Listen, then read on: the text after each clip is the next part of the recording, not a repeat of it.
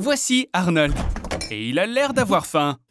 Arnold, regarde C'est toi Mais celui du futur Attends, Arnold Il n'a pas besoin de tes vêtements. Il a besoin de ton aide. C'est pour ça que tu pars dans le futur en l'an 2050. Oh là là Ça n'est pas vraiment le futur radieux auquel on pourrait s'attendre.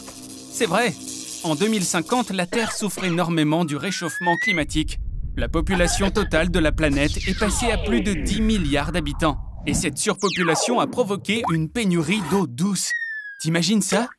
La planète est au bord de la destruction. Et qu'est-ce qu'ils font tous? Ils se battent pour du Pepsi. Bon, revenons à notre mission. En l'an 2050, tout le monde porte des implants cybernétiques. Et compte tenu du fait que les drones ennemis peuvent détecter les implants à une distance de 10 km, toi, petit Arnold, tu es la personne la plus indétectable et invulnérable en l'an 2050. Tu es celui qui va aider à changer le cours de la guerre. Soldats, rassemblez-vous. Et donc, Arnold, l'ennemi a été repéré au nord. Mais le chemin est bloqué par des canons électromagnétiques. Et la vitesse de ses impulsions dépasse les 7000 km à l'heure. On doit trouver un abri. Dépêche-toi Descends dans le métro Tu as échappé aux armes, Arnold. Mais il y a d'autres problèmes maintenant. Les drones détectés par les scanners. Ne t'inquiète pas, Arnold. Rappelle-toi, ces drones ne te remarqueront même pas. Tu dois juste te frayer un chemin pour pouvoir couper le courant. Bien joué, Arnold Le futur n'était pas encore prêt pour des gens comme toi. Continue, mon pote. Tu y es presque. Il est temps d'atteindre la surface. Arnold, il y a beaucoup d'ennemis autour de nous. C'est ça, utilise l'exocombinaison. Avec ça, tu pourras devenir un super soldat. Et tu pourras parcourir de longues distances sans même te fatiguer. Et il y a encore mieux que ça, toute activité physique pourra devenir 20 fois plus facile qu'avant. Je vois qu'on ne peut plus t'arrêter maintenant, Arnold. Bon, il ne reste plus qu'à savoir comment on se sert de toutes ces commandes. Arnold, non Tu viens de tuer ta propre version du futur Ok, bon, pas le temps de se lamenter. Tes ennemis arrivent. Tu as un lance-flamme, utilise-le Oh ouais Je crois que personne n'a jamais pensé qu'un jour ça pourrait arriver à Hollywood. Arnold, attention Une fusée Arnold Arnold Est-ce que ça va? Arnold, tu as été gravement blessé. Alors les docteurs t'ont fait une petite mise à jour. Tu es maintenant comme un sous-neuf. Mais il y a un tout petit problème. À présent, nous avons besoin d'un soldat sans implant. Et tu dois voyager dans le temps pour pouvoir le trouver. Et voici notre volontaire Amène-le au portail. Ah, J'ai l'impression d'avoir un déjà-vu. Comme si j'avais déjà vu ça quelque part. Salut, Arnold Hey, comment t'as réussi à aller jusqu'à la mer tout seul comme ça? Bien essayé, mon pote. Mais alors, pourquoi tout ce décor de plage? Ah, c'est pour attirer l'attention de Bertha. Waouh Et ça a vraiment marché? Elle t'a invité à lui rendre visite Mais, mon pote, est-ce que t'as assez d'argent pour un billet? J'ai peut-être une idée. Tu pourrais voler vers Bertha en classe super méga giga économique. Et au lieu de la tablette et du coussin habituel, tu auras besoin de nourriture, d'eau et d'un truc pour faire popo. Ne t'inquiète pas, Arnold, tu n'es pas le premier à voyager comme ça. Reginald Reg Spires, sans argent du tout, a fait tout le chemin vers un autre continent en seulement trois jours. De nos jours, les entrepôts sont comme de vraies villes avec leurs propres lois et leurs propres règlements. La probabilité de perdre un colis est réduite au strict minimum. Des robots travaillent sur des convoyeurs en lisant des codes barres spéciaux. Cela réduit le risque d'erreur humaine. En 2019, la Chine a établi un record mondial de livraison, avec 345 millions de colis livrés en une seule journée. La pire chose qui puisse arriver à un colis est qu'il soit retenu dans un port, à la douane. Je suis d'accord, pour la personne qui est à l'intérieur, ça n'est pas comme séjourner au Ritz. Se retrouver dans un espace confiné, sous un soleil de plomb, est une tâche difficile à supporter. Arnold, accroche-toi mon pote, ça n'est plus qu'une question de jours maintenant. Pour être précis, 23 jours, 17 heures et 45 minutes. Bienvenue en Australie, Arnold L'un des avantages de voyager en colis est la livraison par coursier jusqu'au point de destination finale. Bertha va arriver d'une minute à l'autre. Waouh, quel canon Arnold, est-ce que tu es prêt? Allez, bonne chance Clairement, elle ne t'oubliera pas de sitôt. Hé, Arnold T'as décidé de traîner dans un parc d'attractions, hein? Oh, on dirait que ce burrito n'était pas pour toi. Vite, trouve quelque chose à boire. Euh, Arnold, attends. Personne ne sait ce qu'il peut y avoir dans ce genre de magasin de magie. Bien, puisque tu as réussi à résoudre ton petit problème de nourriture mexicaine, allons nous amuser un peu. Quelle file d'attente énorme On dirait bien que tu vas devoir attendre un peu. Ou bien... Arnold, ça n'est pas une bonne chose à faire. J'ai le sentiment que cette petite mamie mignonne a besoin de ton aide. Arnold, attention Tu sais, Arnold, j'ai quand même décidé de venir à la morgue pour te dire mes derniers adieux et... Oh mon Dieu, mais tu es vivant Non, tu as été ressuscité Il semble que l'élixir que tu as bu ait fonctionné. Tu es maintenant immortel. Toutes mes félicitations, Arnold tu vas maintenant devenir l'organisme qui vit le plus longtemps sur Terre. Ton corps peut à présent se régénérer. Et le terme sénescence cellulaire n'est plus seulement qu'une blague pour toi. Bon, bon, comment est-ce que tu vas utiliser ton immortalité? J'ai compris, tu vas traverser au feu rouge. Tripoter des filles au hasard. Ah, et tu vas aussi gagner le concours de sosie de Kenny McCormick. C'est vraiment ridicule. Tu as devant toi un nombre infini d'années et tu les gâches avec ça. Arnold, après tout, tu pourrais étudier tout ce qui existe dans le monde, apprendre n'importe quel art martial, et même tenter d'aller explorer et coloniser de nouvelles galaxies. Arnold, qu'est-ce que tu dirais d'arrêter un peu de perdre ton temps? Ok, alors peut-être que pendant 200 ans, tu vas faire du binge-watching et regarder toutes les séries qui existent sur Netflix. Je vois que tu t'ennuies un peu quand même. Et puis, ta maison a commencé à se dégrader sérieusement, et tu es encore jeune. Il faut bien être conscient que l'un des inconvénients de l'immortalité, c'est que tu dois survivre à tous tes proches. De plus, le monde qui t'entoure évolue plutôt rapidement. Alors que toi, tu seras à la traîne du progrès, et tu vas finir par te sentir superflu dans cette société. Tout ce qui te paraissait important pour toi autrefois va disparaître progressivement. Avec le temps, tout va cesser de te plaire et de te surprendre. Et la raison est très simple, parce que tu auras déjà tout vu. Tu vas devenir profondément déprimé.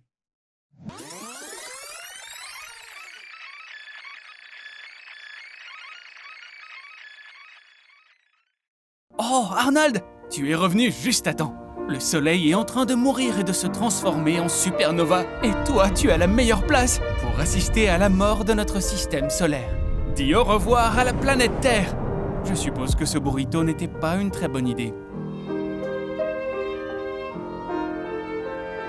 Je suis dans l'espace.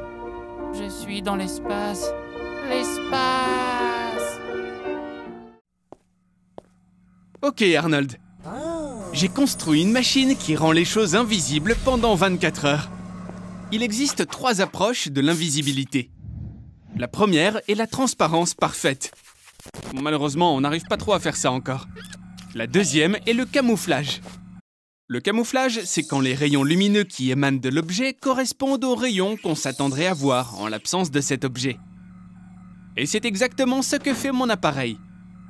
Enfin, la troisième et dernière approche est lorsqu'un objet est enveloppé dans un métamatériau, quelque chose comme un chapeau invisible, qui transforme la trajectoire des rayons lumineux pour qu'ils semblent inchangés.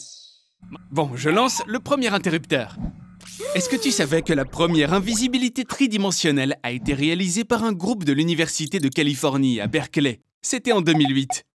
Ils ont créé un maillage de microfibres d'argent qui ne reflète ni n'absorbe les rayons lumineux. Par conséquent, l'œil ne voit que la lumière des objets situés derrière l'entité camouflée. Et maintenant, le deuxième interrupteur. Surtout ne bouge pas, Arnold. Attends, mais qu'est-ce que tu... Oh T'es vraiment un imbécile Je te mettrais bien une claque derrière la tête, mais... Bon sang, je sais même pas où tu es. Mets ce chapeau pour que je puisse te voir. Ok, donc, maintenant, tu as 24 heures. Qu'est-ce que tu vas faire? C'est ça, qui aurait pu douter que c'est là que tu irais en premier? Si ma machine fonctionnait selon le principe de l'invisibilité, tu deviendrais complètement aveugle. Parce que l'indice de réfraction des corps qui sont devenus invisibles deviendrait égal à l'indice de réfraction de l'air. Et les lentilles de tes yeux perdraient la capacité de réfracter les rayons lumineux et de les concentrer sur la rétine.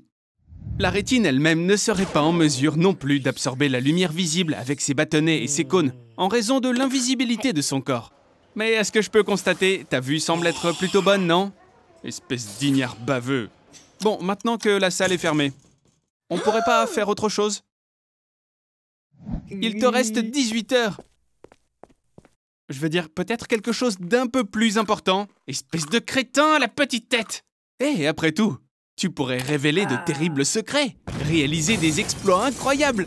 Tu pourrais même te frayer un chemin dans la fameuse zone 51. Bon, t'es pas dans la bonne région pour ça, mais peut-être que t'as d'autres idées? Tu penses quand même pas à aller voler ce truc C'est une idée terrible, Arnold Dans tous les cas, il te faut un plan. Bien sûr, grâce à l'invisibilité, tu pourras rester plus longtemps après la fermeture. Mais à ce moment-là, tu devras aussi contourner les gardes. Et tout autour du diamant, il y aura aussi des lasers.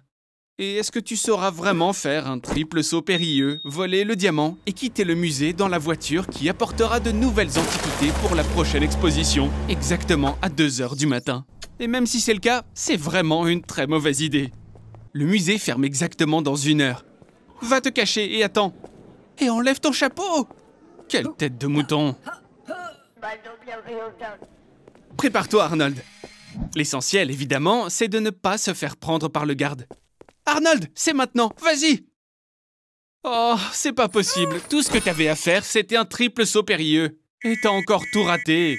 Oh Bon, maintenant, maintenant tu dois courir pour sauver ta vie, Arnold La sortie est proche, c'est juste derrière. Allez, Arnold, vas-y, tu peux le faire Oh mince, on dirait que le diamant que tu as volé est en fait une copie en verre. Et je dois dire que c'est une tournure plutôt malchanceuse des événements. Même si, pour être honnête, il est quand même assez logique que l'original soit conservé dans un coffre. Maintenant, on dirait bien que tu n'auras jamais l'amour de la belle Tagaï. Malheureusement, tu vas bientôt redevenir visible. Ça va se passer dans à peu près une heure. Alors, bonne chance pour t'échapper. Bye bye Arnold. Voici Arnold.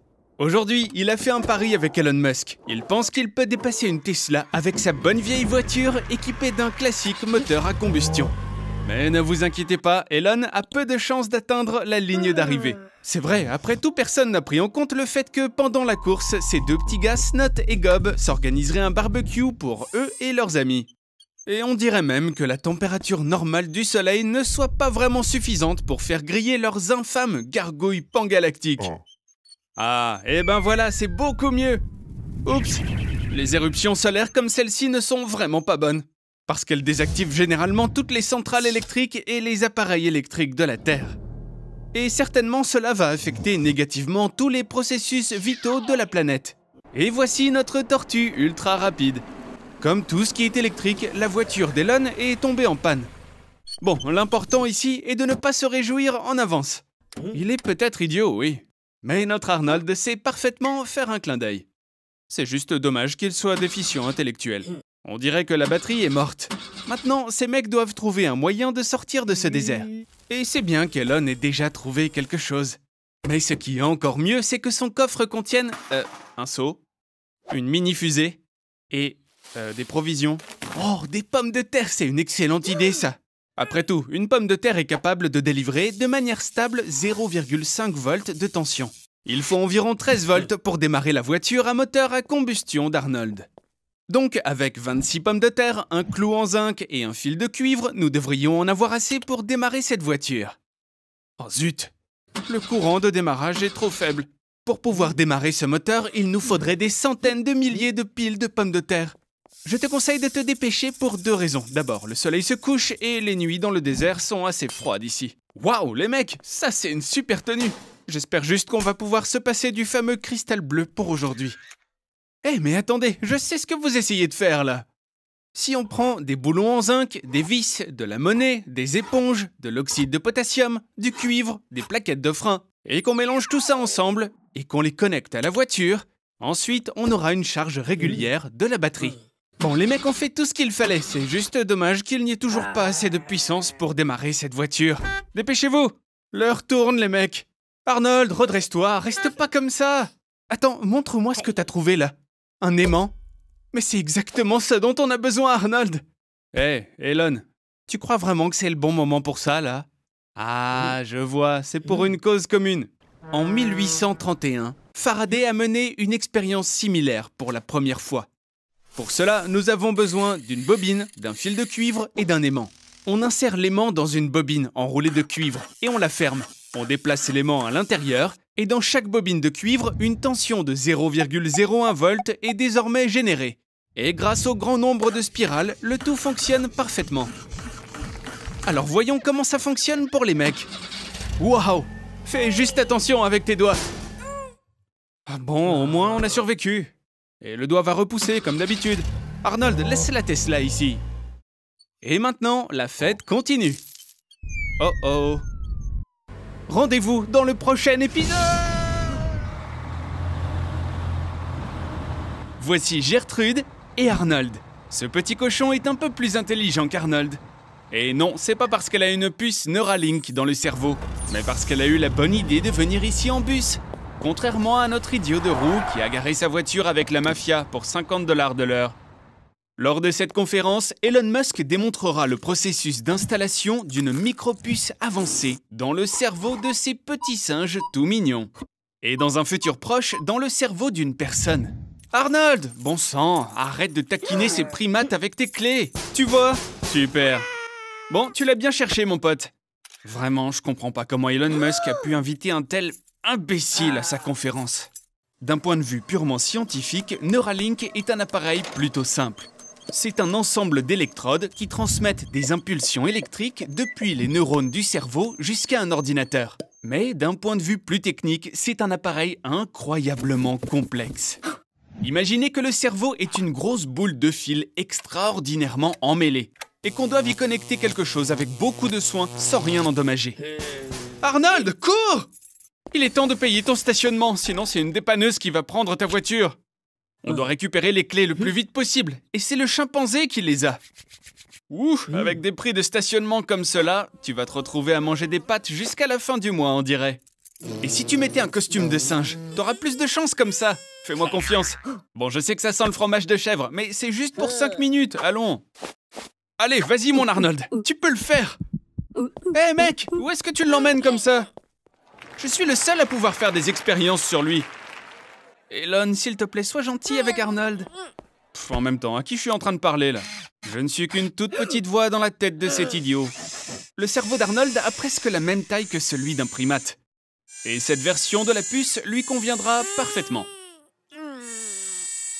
Grâce au Neuralink et au Wi-Fi, Arnold peut maintenant communiquer avec les autres propriétaires de cet appareil, et cela rien qu'avec le pouvoir de la pensée. Il bénéficie également d'une augmentation considérable de la vitesse d'interaction avec tout l'Internet. Arnold, allez, concentre-toi. Tu peux le faire Télécharge le langage des signes des singes sur Internet. Je n'ai jamais douté que tu y arriverais, Arnold, mais je n'ai jamais pensé que t'allais faire traîner les choses toute la journée. En fait, je te croyais si stupide que même la puce Neuralink ne pouvait pas t'aider. Mais tu as juste oublié de l'allumer, espèce d'idiot. Prépare-toi, on prend le bus pour rentrer avec Gertrude. Ta voiture a été vendue pour payer les frais de parking. Et ça leur a permis de récupérer 600 balles quand même.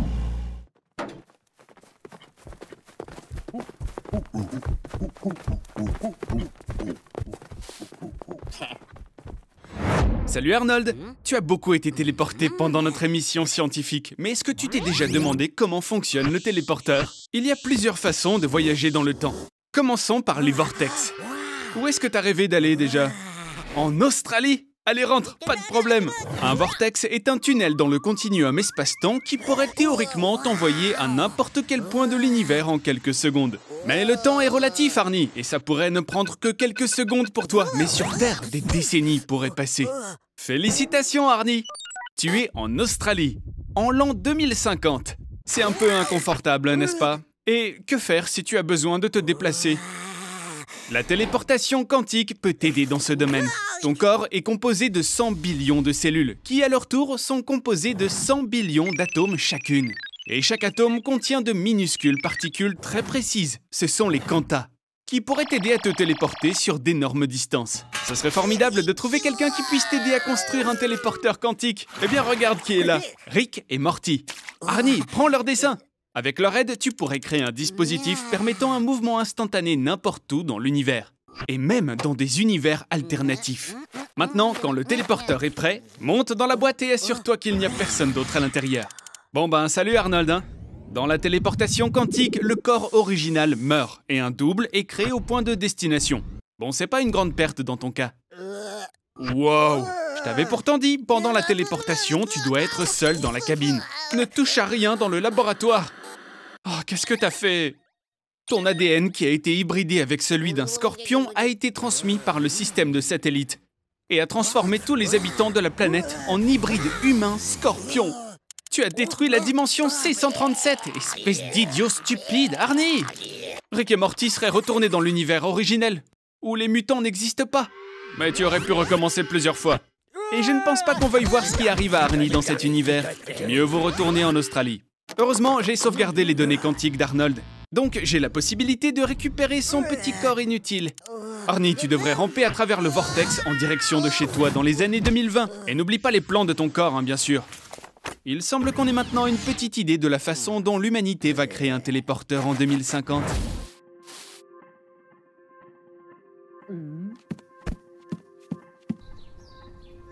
Voici Arnold. Il a déjà fait ses valises, nourrit ses poissons et il est prêt pour partir pour un voyage top secret. Juste devant toi se trouve la nouvelle génération de DeLorean. J'ai amélioré cette Tesla pour que tu puisses voyager non pas seulement vers une autre ville, mais vers une autre année, en 1986 par exemple.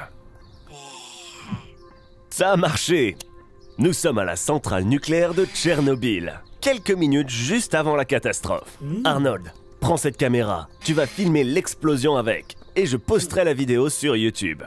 Ça va faire au moins 20 millions de vues, c'est sûr. Hmm, la batterie est déjà morte. Mets-la à charger. C'est une prise européenne en douille. Tu as besoin d'un adapteur. Ou peut-être pas. Arnold, tout ça c'est à cause de toi? C'est pas grave, tu dois sortir d'ici et vite. Il y a une batterie externe dans la boîte à gants. Branche-la dans la voiture. Merde, il faut au moins 60 secondes pour qu'elle charge. Enlève cette tenue de sécurité. Juste en regardant l'endroit, tu ne peux pas savoir si tu es dans une zone de radiation. Mais en fait, la radiation ici est cosmique. Ce n'est pas exactement ce à quoi je m'attendais. Peut-être que tu as échangé les sacs avec ceux de quelqu'un d'autre. Avec des radiations d'environ 500 rayons X, tes cheveux et tes ongles tombent instantanément. Ta peau devient rouge et toutes les maladies que tu as s'aggravent. Mais tu as de la chance, tu ne sentiras pas trop la douleur car tu vas tomber dans le coma dans 3, 2, oh, c'est déjà le cas. Ceci est dû au fait que la radiation ici est de 20 000 rayons X par heure. Cette technologie ne peut pas gérer cet assaut. Donc on doit partir d'ici. Tu dois avoir assez de batterie pour aller en 2020. C'est parti Quel voyage ça a été Hmm, je crois que tu as besoin de consulter un oncologue. Arnold, tu sais à quel point tu as l'air débile là? Je me demande qui a pris la tenue de protection.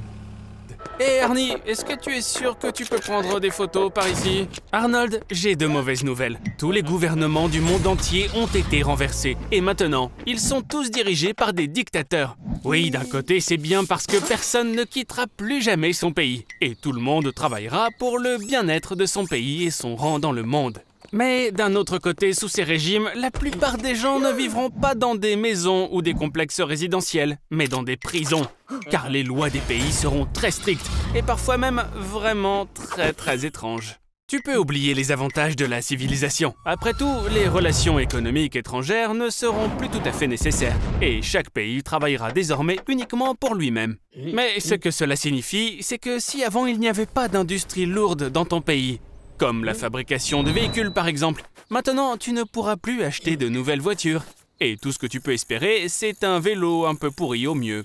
Et je ne dis pas que tous les médias sociaux auraient disparu. Seulement, maintenant, tu ne pourrais avoir que des conversations privées avec tes amis que quelque part au fond des bois. Et avec la radio montée très très fort. Et maintenant, même si tu veux te faire couper les cheveux, ta coiffure devra être approuvée par l'administration locale. Et bien sûr, il n'y a qu'un nombre limité de coiffures approuvées par le gouvernement. Mais ce qui est le plus effrayant, c'est que tous les pays se soupçonnent désormais mutuellement d'être une menace potentielle. Ainsi, presque toutes les ressources de chaque pays sont investies dans des constructions militaires. Et puis, hélas, un de ces jours, quelqu'un va finir par craquer et appuyer sur ce gros bouton tout rouge. Arnold, mais tu as sauvé le monde Oh, qui aurait cru que ton daltonisme sauverait notre planète? Rencontrer Arnold. Hé, Arnold, où t'as trouvé une voiture Arnold Tu as presque tué cet oiseau. Maintenant, tu dois appeler un taxi pour cette dame. Heureusement, c'était un moineau et non un aigle. Je pense que tu viens d'appeler tous les taxis des États-Unis à venir ici, à cet endroit précis. Aux États-Unis, environ 230 000 personnes sont enregistrées comme chauffeurs de taxi, dont plus de la moitié sont des chauffeurs Uber. Toutes ces voitures alignées vont créer un embouteillage d'une longueur de 800 km. Un tiers de l'État de New York sera paralysé. Il deviendra difficile de respirer dans la rue en raison de l'augmentation des émissions qui doublera la quantité habituelle. Et à cause de cela, vous commencerez à tousser, à vous sentir nauséeux, même à souffrir d'un AVC. Ne placez pas vos espoirs dans une ambulance, car cela ne vous sauvera pas. Ni les 3000 autres patients qui appellent une ambulance chaque jour. Puissent-ils reposer en paix. Vous pouvez tenter votre chance et essayer de prendre le métro jusqu'à l'hôpital. Mais les 6 millions de personnes qui conduisent normalement leur voiture sont déjà dans le métro. Il y a donc aujourd'hui environ 11 millions de personnes méchantes, en colère et en retard. Hey C'est lui qui a causé tous ces embouteillages. Les criminels ont déjà volé la moitié des magasins de la ville car la police ne peut pas répondre à la plupart des délits. Arnold, je pense que tu ferais mieux de quitter le pays tout compte fait. Il y a une place pour vous sur à peu près n'importe quel avion au départ de New York. Les gens ne peuvent pas se rendre à l'aéroport et les avions volent à moitié vides. Et ces compagnies perdent plus de 10 000 dollars par vol. Mais Arnold paie-t-il toujours ses dettes? Tous les chauffeurs de taxi ont dépensé ensemble environ 15 millions de dollars, uniquement en essence pour venir te chercher. Comment vas-tu payer tout le monde? Arnold, attends, tu as vraiment de l'argent?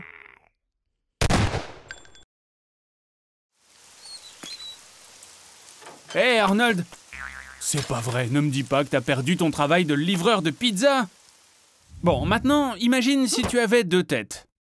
Tu serais bien plus populaire. Ta vie serait bien plus intéressante. Tu serais plus intelligent. Et tu pourrais enfin apprendre à faire du vélo normalement. Oh, regarde C'est le mec qui était sur l'affiche. Le maître de cérémonie. Oh mon dieu Ce lion vient-il vraiment d'avaler le mec à deux têtes en entier? Euh, non, en fait. Il semble que les têtes soient indemnes. Mais qu'est-ce qu'il va bien se passer maintenant? Est-ce que le grand spectacle de la saison va être annulé? Eh, il semblerait que le directeur t'ait remarqué et il voudrait que tu fasses partie de la distribution. Mais seulement si tu acceptes que ces deux têtes toutes neuves soient cousues sur ton corps. C'est ce dont tu as toujours rêvé, n'est-ce pas? Bon, eh bien, puisque tu es totalement d'accord, je pense que tu devrais en savoir un peu plus sur l'opération qui arrive. La première transplantation de tête réussie a été faite par Charles Guthrie en 1908. Cependant, cela a été fait sur des chiens. L'une des têtes a été cousue au cou du corps d'un chien à l'envers. Dans les années 1950, Demikov a réussi à faire fonctionner complètement une deuxième tête. Au total, il a transplanté 20 têtes avec la moitié avant des chiens. Et puis ensuite, la tête d'un chien a été transplantée sur le corps d'un autre. Et puis, il y eut ce singe, qui, après la transplantation, a même essayé de mordre l'un des médecins. En 2013, Sergio Canavero a fait part de ses plans pour une transplantation de tête humaine. Le coût estimé était de 12,8 millions de dollars. En 2017, sous sa direction, une tête humaine morte a été transplantée sur un cadavre. Et en fait, tout ça te va plutôt bien, Arnold. Il est maintenant temps de répéter ton rôle. J'espère au moins que tu ne vas pas te planter et déshonorer ces belles têtes. Tu vas devoir jongler en faisant passer ton monocycle sur un tremplin, à travers des cerceaux qui seront en feu. Ouais Ils n'ont pas l'air d'apprécier que tu sois aussi stupide, Arnie. Est-ce que tu pourrais, s'il te plaît, ne pas interférer avec les pros qui gèrent ton corps? Parce que tu vois, tout ce qu'on te demande, c'est de ne pas gâcher la performance. L'heure de gloire est arrivée Tous les yeux sont rivés sur toi, Arnold Aujourd'hui, tu es la pièce maîtresse du spectacle. Croise les doigts, mon pote Tu te débrouilles très bien. Encore un peu, et... Est-ce que c'est Tagaya, là-bas? Elle serait pas venue te voir? Oh non, non, ne te laisse pas distraire! Pas maintenant, Arnold! Quel abruti! En essayant d'être un gentleman, tu t'es déshonoré, ainsi que les frères Troul. Ce sera malheureusement le plus grand échec que ce cirque n'ait jamais connu. Psst! Arnold! Arnold! Réveille-toi